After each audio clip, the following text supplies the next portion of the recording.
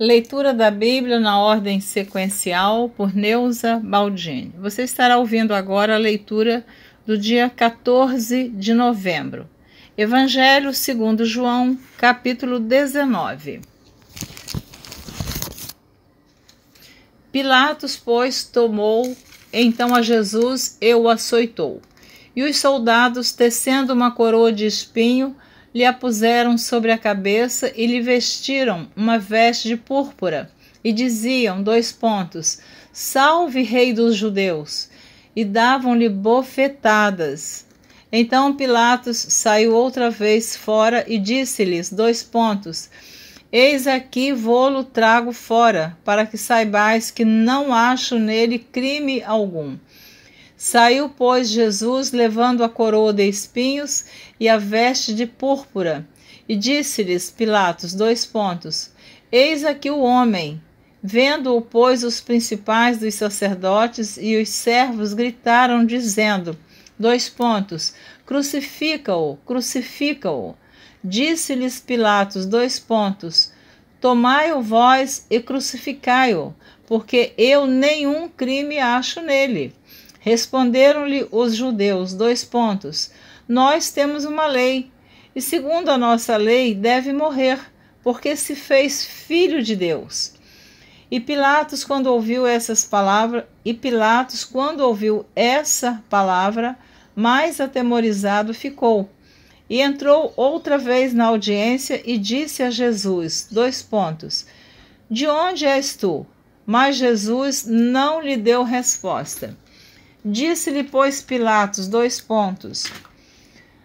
Não me falas a mim? Não sabes tu que tenho poder para te crucificar e tenho poder para te soltar? Respondeu Jesus, dois pontos. Nenhum poder terias contra mim se de cima te não fosse dado, mas aquele que me entregou a ti, maior pecado tem. Desde então, Pilatos procurava soltá-lo, mas os judeus gritavam, dizendo: dois pontos. Se soltas este, não és amigo do César. Qualquer que se faz rei é contra o César. Ouvindo, pois, Pilatos esse dito, levou Jesus para fora e assentou-se no tribunal, no lugar chamado Litóstotos. E em hebraico o nome é Gabatá. E era a preparação da Páscoa, e quase a hora sexta, e disse aos judeus: dois pontos: Eis aqui o vosso rei. Mas eles bradaram: dois pontos: Tira, tira, crucifica-o. Disse-lhes Pilatos: dois pontos: Hei de crucificar o vosso rei? Responderam os principais dos sacerdotes: dois pontos: não temos rei senão o César. Então entregou-lhe para que fosse crucificado. E tomaram a Jesus e o levaram. A crucificação.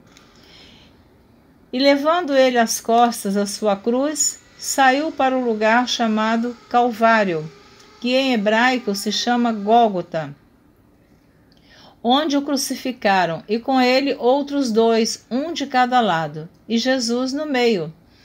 E Pilatos escreveu também um título e pô-lo em cima da cruz, e nele estava escrito dois pontos: Jesus Nazareno, Rei dos Judeus. E muitos dos judeus leram este título porque o lugar onde Jesus estava crucificado era próximo da cidade e estava escrito em hebraico, grego e latim. Diziam, pois, os principais sacerdotes dos judeus a Pilatos: dois pontos. Não escrevas rei dos judeus, mas que ele disse: dois pontos, sou rei dos judeus. Respondeu Pilatos: dois pontos, o que escrevi, escrevi. Tendo, pois, os soldados crucificado a Jesus, tomaram as suas vestes e fizeram quatro partes para cada soldado uma parte, e também a túnica. A túnica, a túnica, porém, tecida toda de alto a baixo, não tinha costura. Disseram, pois, uns aos outros dois pontos: Não a rasguemos, mas lancemos sortes sobre ela, para ver de quem será. Isso foi assim para que se cumprisse a escritura que diz: dois pontos. Dividiram entre si as minhas vestes, e sobre a minha túnica lançaram sortes. Os soldados, pois, fizeram essas coisas. E junto à cruz de Jesus estava sua mãe e a irmã de sua mãe, Maria mulher de Clopas, e Maria Madalena. Ora, Jesus, vendo ali sua mãe e que o discípulo a quem ele amava estava presente, disse à sua mãe: dois pontos. Mulher, eis aí o teu filho. Depois disse ao discípulo: dois pontos. Eis aí tua mãe. E desde aquela hora, o discípulo a recebeu em sua casa. Depois, sabendo Jesus que já todas as coisas estavam terminadas, para que a escritura se cumprisse, disse: dois pontos. Tenho sede. Estava, pois, ali um vaso cheio de vinagre. E encheram de vinagre uma esponja e, pondo-a no ensopo, lhe achegaram a boca. E quando Jesus tomou o vinagre, disse: dois pontos, está consumado. E inclinando a cabeça, entregou o Espírito. Os judeus, pois, para que no sábado não ficassem os corpos na cruz, visto como era a preparação, pois era grande o dia de sábado, rogaram a Pilatos que se lhes quebrassem as pernas e fossem tirados. Foram, pois, os soldados e, na verdade, quebraram as pernas ao primeiro e ao outro que com ele fora crucificado. Mas vindo a Jesus e vendo-o já morto, não lhe quebraram as pernas. Contudo, um dos soldados lhe furou o lado com uma lança, e logo saiu sangue e água. E aquele que o viu testificou, e o seu testemunho é verdadeiro, e sabe que é verdade o que diz, para que também vós o creais. Porque isso aconteceu para que se cumprisse a escritura que diz: dois pontos, nenhum dos seus ossos será quebrado. E outra vez diz a escritura: dois pontos, verão aquele que traspassaram o sepultamento de Jesus. Depois disso, José de Arimateia, o que era discípulo de Jesus, mas oculto, por medo dos judeus, rogou a Pilatos que lhe permitisse tirar o corpo de Jesus, e Pilatos lhe permitiu. Então foi e tirou o corpo de Jesus. E foi também Nicodemos, aquele que anteriormente se dirigia de noite a Jesus, levando quase cem libras de um composto de mirra e aloés. Tomaram, pois, o corpo de Jesus e o envolveram em lençóis com as especiarias, como os judeus costumam fazer na preparação para o sepulcro. E havia um horto naquele lugar onde fora crucificado, e no horto um sepulcro novo, em que ainda ninguém havia sido posto. Ali, pois, por causa da preparação dos judeus e por estar perto aquele sepulcro, puseram a Jesus. A ressurreição. Capítulo 20 do Evangelho de João. E no primeiro dia da semana, Maria Madalena foi ao sepulcro de madrugada, sendo ainda escuro, e viu a pedra tirada do sepulcro. Correu, pois, e foi a Simão Pedro e ao outro discípulo a quem Jesus amava e disse-lhes: dois pontos. Levaram o Senhor do sepulcro e não sabemos onde o puseram.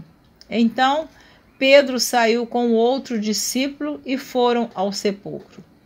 E os dois corriam juntos, mas o outro discípulo correu mais apressadamente do que Pedro e chegou primeiro ao sepulcro e abaixando-se viu no chão os lençóis, todavia não entrou. Chegou, pois, Simão Pedro, que o seguia, e entrou no sepulcro e viu no chão os lençóis. e que o lenço que tinha estado sobre a sua cabeça não estava com os lençóis, mas enrolado num lugar à parte. Então entrou também o outro discípulo que chegara primeiro ao sepulcro e viu e creu, porque ainda não sabiam a Escritura que diz que era necessário que ressuscitasse dos mortos. Tornaram, pois, os discípulos para casa. Jesus aparece a Maria Madalena, e Maria estava chorando fora junto ao sepulcro.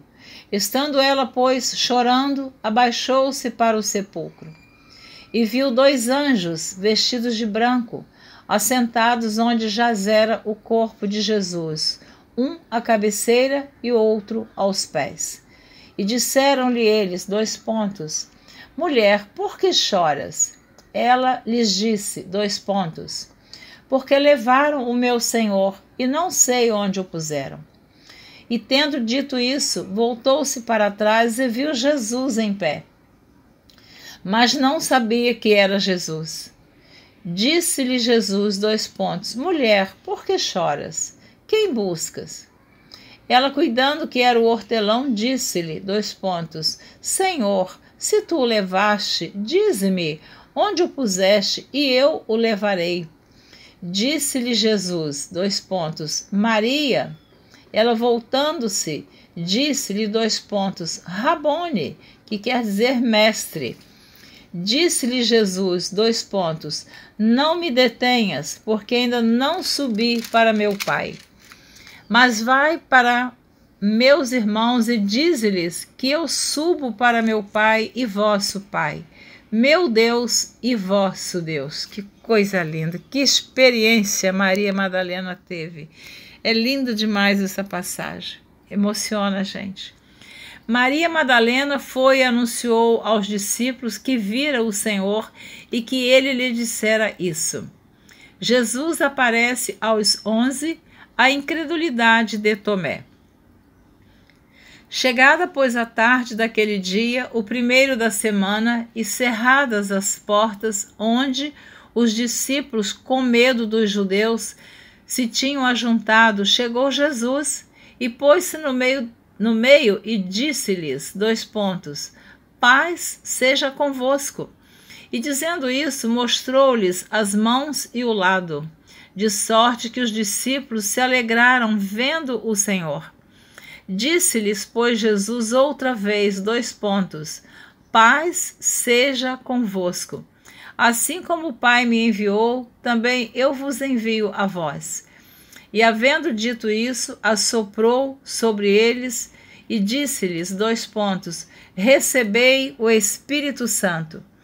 Aqueles a quem perdoardes os pecados lhes são perdoados e aqueles a quem os retiverdes lhes são retidos. Ora, Tomé, um dos doze, chamado Dídimo, não estava com eles quando veio Jesus. Disseram-lhe, pois, os outros discípulos, dois pontos, vimos o Senhor. Mas ele disse-lhes, dois pontos, se eu não vir o sinal dos cravos em suas mãos e não puser o dedo no lugar dos cravos, e não puser a minha mão no seu lado, de maneira nenhuma o crerei. E oito dias depois estavam outra vez os seus discípulos dentro e com eles Tomé. Chegou Jesus, estando as portas fechadas, e apresentou-se no meio e disse: dois pontos. Paz seja convosco. Depois disse a Tomé: Põe aqui o teu dedo e vê as minhas mãos, chega a tua mão e põe-na no meu lado. Não sejas incrédulo, mas crente. Tomé respondeu e disse-lhe dois pontos: Senhor meu e Deus meu. Disse-lhe Jesus dois pontos: Porque me viste, Tomé, creste. Bem-aventurados os que não viram e creram. Então Tomé não estava acreditando que Jesus havia ressuscitado. E agora, passados oito dias, Jesus aparece novamente aos discípulos e ali ele diz para Tomé tocar nas marcas das suas mãos e do seu lado. E ele diz: Bem-aventurados que não viram e creram. Então não sejamos incrédulos. Comentário meu. Jesus, pois, operou também em presença de seus discípulos muitos outros sinais que não estão escritos neste livro. Estes, porém, foram escritos para que creais que Jesus é o Cristo, o Filho de Deus, e para que, crendo, tenhais vida em seu nome. Capítulo 21 do livro do apóstolo João. Depois disso, manifestou-se Jesus outra vez aos discípulos junto ao mar de Tiberíades, e manifestou-se assim: dois pontos. Estavam juntos Simão Pedro e Tomé, chamado Dídimo, e Natanael, que era de Caná da Galileia, e os filhos de Zebedeu, e outros dois dos seus discípulos. Disse-lhes Simão Pedro, dois pontos, vou pescar.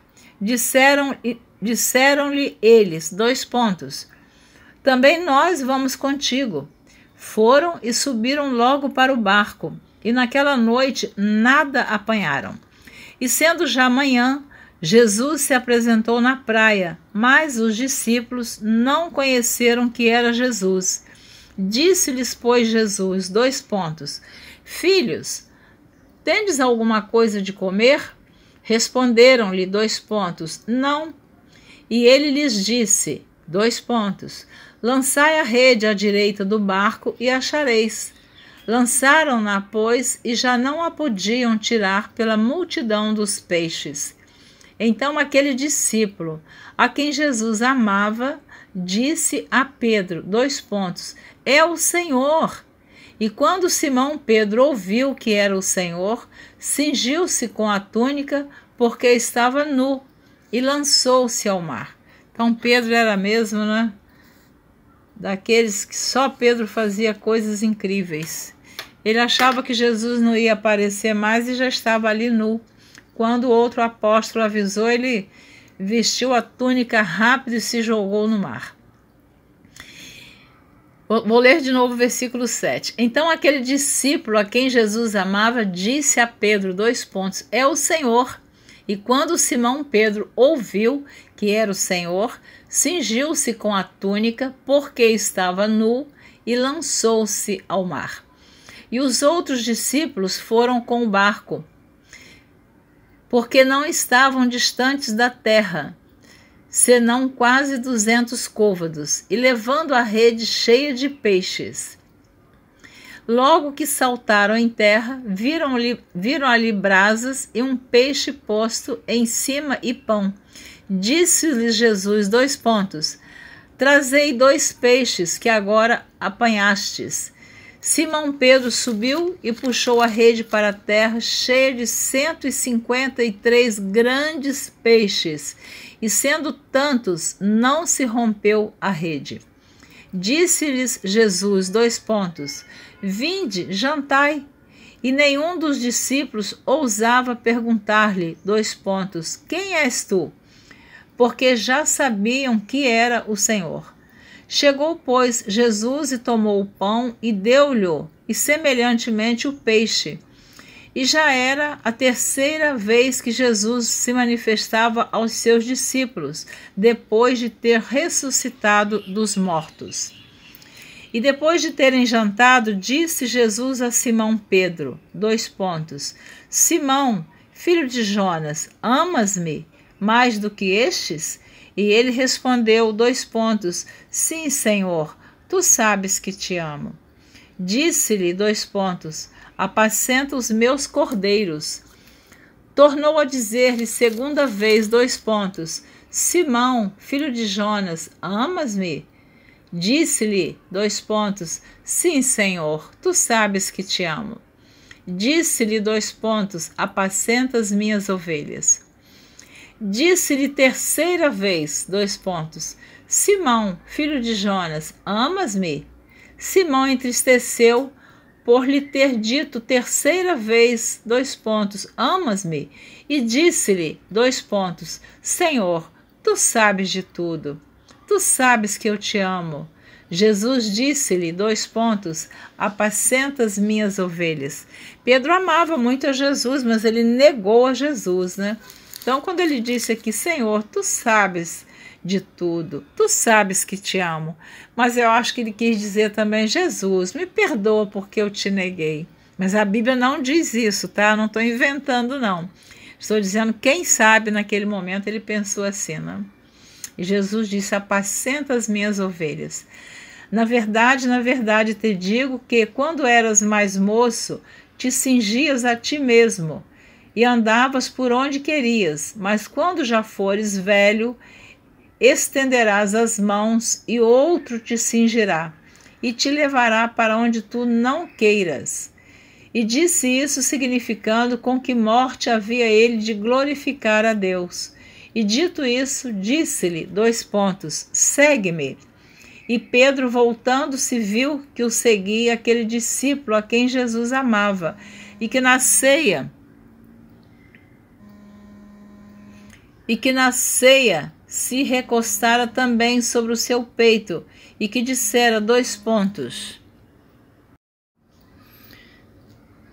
Repetindo o versículo 20. Eu vou ler também o versículo 19 do capítulo 21. E disse isso, significando com que morte havia ele de glorificar a Deus, e dito isso, disse-lhe: dois pontos, segue-me. Então, na verdade, a Bíblia não diz exatamente como Pedro morreu. Muitos pregadores dizem que ele foi morto de cabeça para baixo, mas aqui a Bíblia não explica. Eu vou ler de novo ainda o versículo 18 que diz assim, do capítulo 21. Jesus falando para Pedro: Na verdade, na verdade te digo, que quando eras mais moço, te cingias a ti mesmo e andavas por onde querias. Dois pontos. Mas quando já fores velho, estenderás as mãos e outro te cingirá e te levará para onde tu não queiras e disse isso significando com que morte havia ele de glorificar a Deus. E dito isso, disse-lhe dois pontos: segue-me.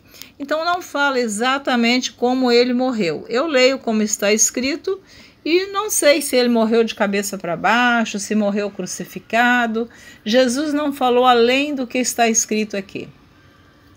E Pedro, voltando-se, viu que o seguia aquele discípulo a quem Jesus amava e que na ceia se recostara também sobre o seu peito, e que dissera dois pontos: Senhor, quem é que te há de trair? Então Pedro está se referindo àquele discípulo que é, segundo nós entendemos, era o apóstolo João que se, que se reclinava no peito de Jesus. Disse-lhe Jesus dois pontos. Vendo Pedro a este, disse a Jesus, dois pontos, Senhor, e deste que será? Disse-lhe Jesus, dois pontos, se eu quero que ele fique até que eu venha, que te importa a ti? Segue-me tu. Divulgou-se, pois, entre os irmãos o dito de que aquele discípulo não havia de morrer, Jesus, porém, não lhe disse que não morreria, mas, dois pontos, se eu quero que ele fique até que eu venha, que te importa a ti? É aquilo que eu sempre digo: as pessoas querem interpretar aquilo que elas acham que é verdadeiro. O próprio Evangelho de João diz aqui que Jesus não disse. Disse-lhe Jesus: Se eu quero que ele fique até que eu venha, que te importa a ti? Segue-me tu. Então divulgou-se entre os irmãos o dito de que aquele discípulo não havia de morrer.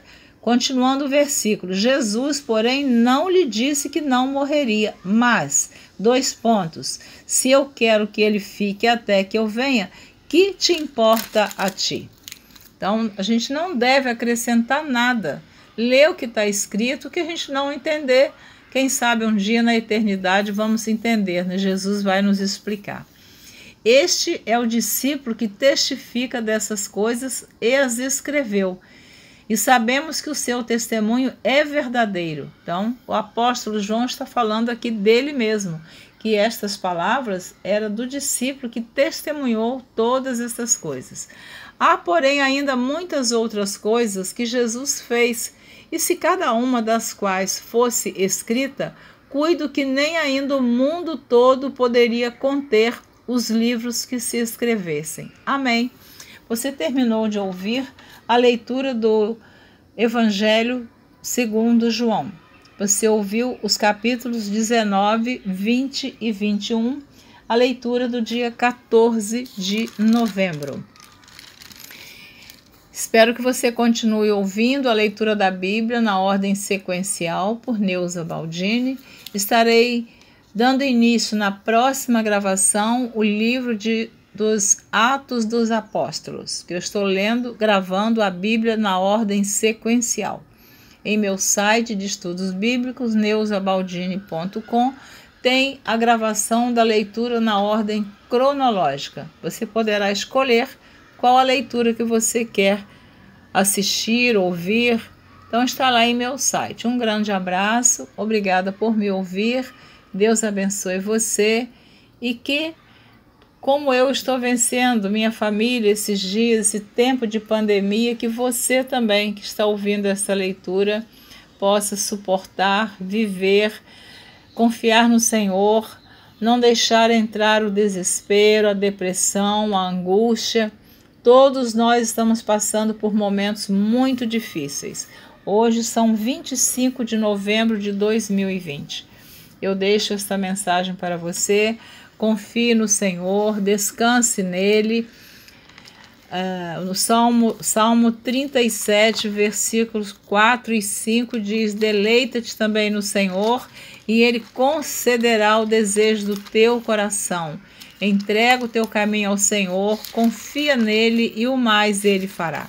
Fica para você esta palavra, que você possa confiar no Senhor. O que não estiver de acordo como você gostaria, Espere em Deus. Deus é nosso refúgio e fortaleza, socorro bem presente na angústia. Amém? Um grande abraço.